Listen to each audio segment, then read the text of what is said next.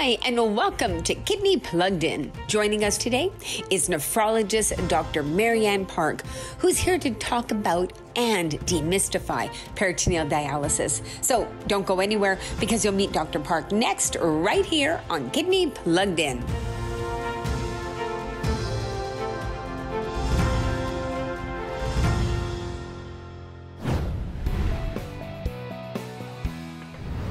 So thank you so much for joining us today, Dr. Park. I thought we could start by having you explain um, what is dialysis and when in a kidney patient's journey do they need to start dialysis? So, dialysis is a therapy that removes waste, salt, and extra water from the body when our kidneys are no longer able to do it themselves any longer. Um, it can also keep certain chemicals in our bodies at balance as well, such as sodium, potassium, and bicarbonate levels, again, when the kidneys are no longer able to regulate this anymore. Patients with chronic kidney disease over time progress and develop end stage renal disease, at which point, generally, patients require dialysis as a life sustaining therapy. And we know that patients require dialysis because of a few different features. First, being the actual biochemical features. So, when we're doing blood work and we see that patients are developing high levels um, and sometimes dangerous levels of certain chemicals in the body, we know that we need to start talking about dialysis to keep things safe for the patients. Other times, these are signs and symptoms that patients develop over time that gives us a clue that they're nearing requiring dialysis. So, for example, patients may develop signs of volume overload, meaning developing shortness of breath, uh, increasing weight gain, uh, and swelling around their legs or other parts of their body. Or patients may develop signs of uremia, which are symptoms that develop when patients have toxins build up in their bodies from their kidney disease. And some patients may say they have increasing fatigue, uh, loss of appetite, increased itching, as well as nausea and other abdominal symptoms as well. Again, all of these signs and symptoms with their blood work combined generally gives us a sense of when patients need to start dialysis. So I understand that there are generally two types of dialysis peritoneal dialysis and hemodialysis. Can you briefly explain the difference between the two? Yes. So, dialysis is a type where it's intermittent typically, and patients require their blood to go through a hemodialysis machine to get it cleaned of all of these toxins and the extra water for removal. And then the same blood is then returned to the patient. And each session like this can generally take about three to four hours for completion. And patients require this approximately three to four times a week. And of course, the actual duration and the frequency depends on each patient a little bit. This type of dialysis can be done in a hospital setting or in a dialysis unit away from a hospital or in their own homes. Peritoneal dialysis is more of a 24 hours a day, seven days a week type of therapy where patients always have a special fluid called dialysate in their abdomen. And this dialysate helps draw out the toxins and the fluids that which then you subsequently drain out of your abdomen to get rid of the, the waste products. Um, this type of dialysis is always done at home, uh, not in a hospital setting. So peritoneal dialysis is referred to as one of the home dialysis modalities in dialysis. So, how does a patient decide what is the best type of dialysis for them? So, we leave a lot of the decisions up to the patient to decide what type of dialysis works best for them because all types of dialysis, whether it be hemodialysis or peritoneal dialysis, are generally equal in terms of effectiveness, um, in terms of clearing the toxins, and in terms of the longevity of the patients who stay on dialysis. Um, the features that we think are important to consider are mostly lifestyle considerations for each of the patients to determine if a particular type of dialysis is better uh, than another type of dialysis. So, for instance, patients who are still actively working and require a lot of flexibility in terms of what time of day and how frequently they can do dialysis, we think that home dialysis is better because it offers a lot more flexibility in terms of how often and when to do their dialysis. Patients who also value traveling a lot find it a little bit difficult to do other types of dialysis other than home dialysis because there are a little bit more restrictions in terms of when and how you can travel to ensure that you can continue getting dialysis at your travel destination. So patients who do home dialysis are able to continue doing their dialysis in their home, in their travel destinations, which makes it a little bit easier for them to travel as well. So for um, patients um, considering peritoneal dialysis, uh, probably one of the uh, big advantages would be that it is done at home and it does allow them to have that, that flexibility. Are there any other things that would make a patient a good candidate for, for PD? I think patients who are motivated and demonstrate interest in doing dialysis themselves at home to gain the benefit of that extra flexibility as well as independence over their own dialysis care are generally all quite good candidates for home dialysis. Um, there are a few instances where we do feel that peritoneal dialysis may not be the best type of dialysis for you. And generally, there's very few medical contraindications, but the few that we do think about uh, include patients with. Um, frequent bouts of diverticulitis or have inflammatory bowel disease because these patients tend to have more adhesions or scarring in their abdomen. And similarly, patients who've had a lot of abdominal surgeries in the past or a lot of infections and complications in their abdomen, we also find that because of the adhesions and the scarring, sometimes peritoneal dialysis is not as effective. And in instances of diverticulitis and other infections, it also increases your risk of developing abdominal infections uh, with peritoneal dialysis as well. So we worry a little bit more about these patients, and it's individualized patient to patient to decide if it is a good idea to start uh, peritoneal dialysis for these patients or not. Other personal and more social factors that we do think about are whether if patients actually have enough space in their homes to have PD related supplies in their homes to be able to do peritoneal dialysis and whether they can physically do things such as picking up their dialysate solutions or making connections uh, for peritoneal dialysis to happen uh, for their exchanges. And of course, we have lots of ways to get over these barriers as well. So, if they have a dedicated caregiver or a partner, family member who can assist these patients with some of these activities, it's certainly absolutely possible uh, to train these patients for home dialysis, and they can work as a team to continue providing uh, home dialysis for these patients. Stay tuned for more of our special series on peritoneal dialysis with Dr. Marianne Park. Leave me a message and I'll get back to you. I can't believe it's been almost 20 years since we met. My whole life has changed. Whenever I felt alone, you were there for me.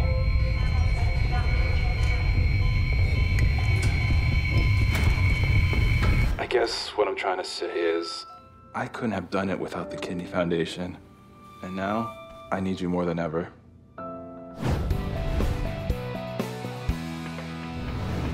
Have you checked out the Kidney Wellness Hub?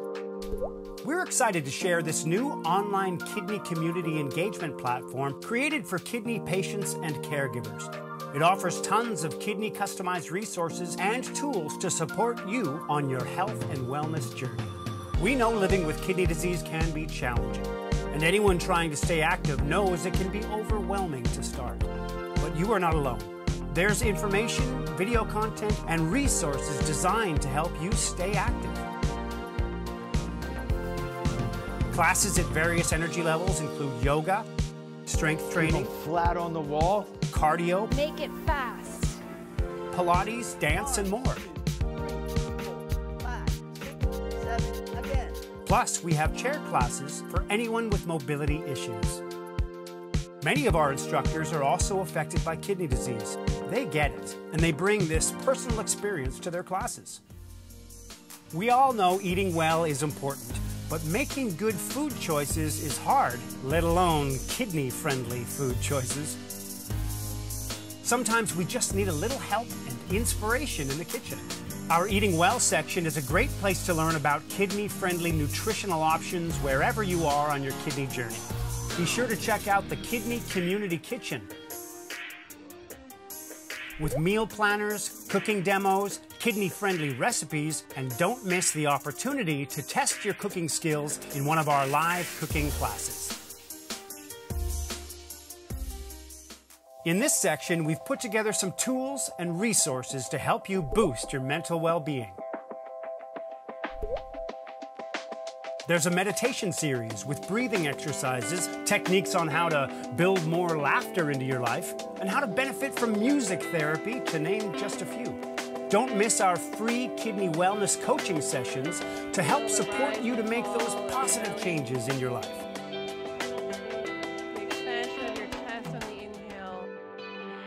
And key to your well being, you told us you wanted to talk with others, to share lived experiences and meet new kidney friends. The Kidney Wellness Hub is here to help. Some of the ways you can connect are talking one to one with a peer mentor, joining a networking session, or connecting through our Facebook group.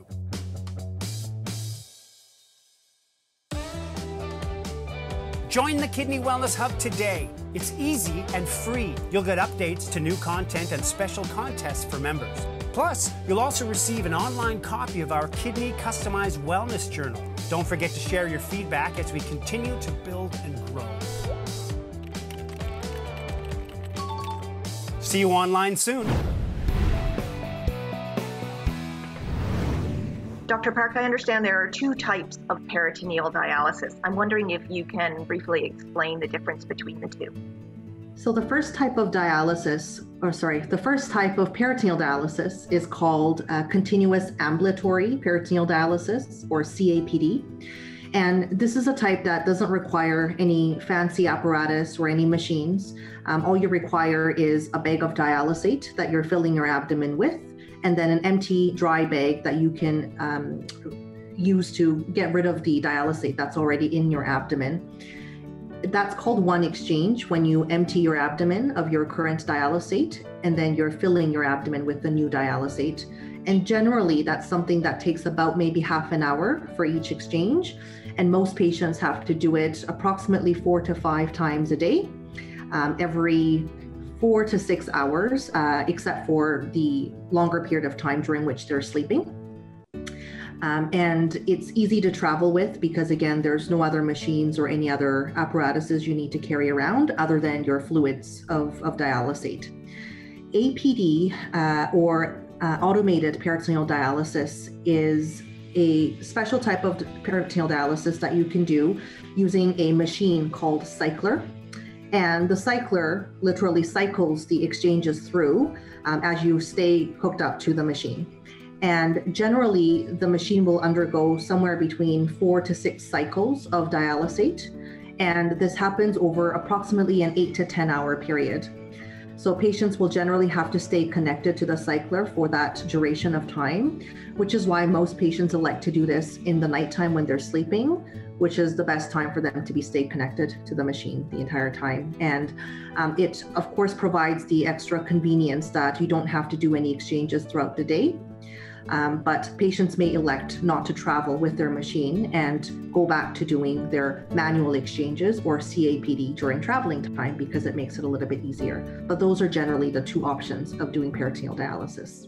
Once a patient opts to do peritoneal dialysis, what sorts of training and preparation can they expect? So, once a patient decides that they want to do peritoneal dialysis, then we wait, of course, until indications arise for them to actually start dialysis. Um, and once we start to see these indications that the patients are nearing dialysis requirement, we have the patient go either uh, get a surgically or a bedside uh, place peritoneal dialysis catheter in their abdomen. Um, depending on their other medical comorbidities, we can decide which one is more appropriate for them. And once they have the peritoneal dialysis catheter, which is a plastic tube that gets placed in their abdomen, we generally like to wait approximately three to four weeks to ensure that there is good healing of the tube before we start to use it for training. We do tend to bring patients back once a week or so just to flush the catheter and get some blood work done to make sure that there are no acute indications to start them on dialysis any sooner than we had planned, um, and just to ensure that the catheter is in the right position and it's working well. after about three to four weeks of healing period, we'll bring the patients in alone or with a caregiver to start training for peritoneal dialysis. And generally, peritoneal dialysis is a very easy therapy for patients to learn. And we don't normally need more than about three to five days of uh, training time uh, where they learn the steps of um, doing their dialysis for themselves at home. Once they've completed their three to five days of training, we go through their medications and make sure that they're on all the right dialysis related medications. Then we send them on their way home to start doing dialysis at home. And once they're at home, we do monitor them a little bit closely in the first few weeks just to ensure that everything is going okay at home and there's no troubleshooting that is required. Um, and so the nurses, the doctors, the dietitians, the, uh, all the multidisciplinary teams basically keep a closer eye on them and make sure they're well supported in their first few weeks. And I understand too, there's, you know, there's new developments happening all the time with respect to research and development to help improve the the quality of care for kidney patients. And um, you know, there's there's technology out there that's fairly new, I think, called ShareSource, and it helps around remote patient monitoring. I'm wondering if you might be able to just comment on, you know, how ShareSource um, might help both patients and doctors. Thanks, Deb. So, as you've mentioned, there's newer developments in peritoneal dialysis all the time um, to make PD more accessible and easier for patients to learn and continue therapies at home in a more safe fashion. Uh, ShareSource is one of the new developments where, as you've mentioned, allows physicians and all teams of the healthcare uh, providers to monitor patients' therapies at home a little bit more closely and makes it a little bit easier for the patients to keep track of their therapies as well. So, traditionally, what would happen uh, would be with each day of their dialysis and each of their exchanges, the patients would have a logbook where they would manually keep track of all of their dialysis related numbers, including their blood pressures, their weight, how much dialysate is going in versus coming out, whether their dwell times, and etc. And the technicalities of this are important for us to make sure that they're getting good, proper dialysis each day and that there are no other troubleshooting uh, things that we need to do to make their dialysis more optimal. ShareSource allows for a lot of these numbers to be recorded automatically by the cycler machine. And anytime the patients are experiencing any alarms or any weird numbers essentially and they're not really sure how to troubleshoot at that point they can contact their primary pd team and the pd team has access to the share source numbers immediately and they can go into it online and help them shoot and see where the issues are, which makes it very convenient in terms of communication and monitoring for both the healthcare providers and also for the patients. Um, if there were any dialysis prescriptions that would need to be altered, uh, the also convenient factor with ShareSource and AMIA is that uh, the healthcare provider could go in remotely and change the prescription for the patient as well, as opposed to having to explain the steps to the patient who would then have to go do it themselves. So there are definitely a little bit of increased efficiency and better communication with the healthcare providers and with the patients um, with this remote monitoring technology for that. I think, you know, one of the things probably that comes up for patients that ought to do dialysis from home is just the fact that they're not in a healthcare setting and maybe sometimes just a bit nervous if something should go wrong. But, you know, with, with new technology developments, it, it, you know, they've got not only their healthcare team surrounding them, but they've got the comfort knowing that somebody can monitor and they've got access to people 24 7, which makes the process a little bit more uh, comfortable, I would assume. Um, please stay with us. We'll be back shortly with more of our interview with Dr. Park. Hi, I'm Kate Chong, Manager of Patient Services for the Kidney Foundation, and this is Did You Know? Did you know that many people are unaware of the programs and services designed to support kidney patients and their caregivers here in British Columbia?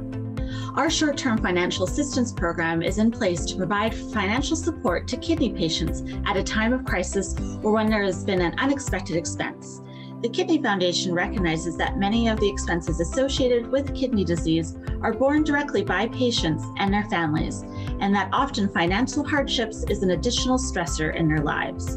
Renal social workers may apply for grants for their low income patients for unexpected household expenses, extraordinary travel, and other pressing needs.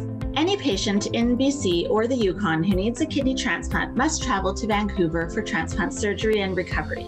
This usually entails remaining in Vancouver for about two months post surgery.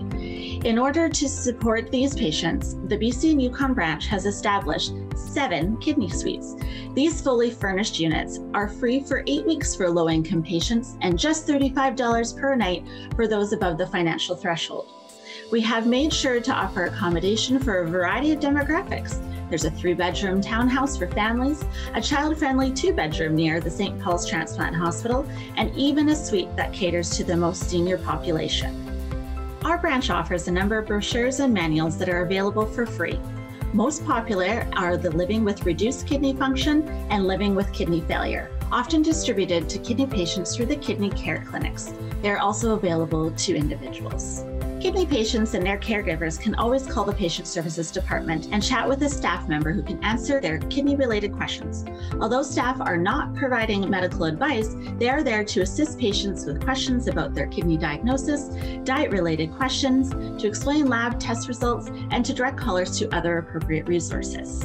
Kidney Connect is a telephone based peer support program available to all kidney patients and their caregivers. People can request to be matched with a trained peer support to discuss a variety of topics from dialysis choices to lifestyle issues to concerns about being newly diagnosed.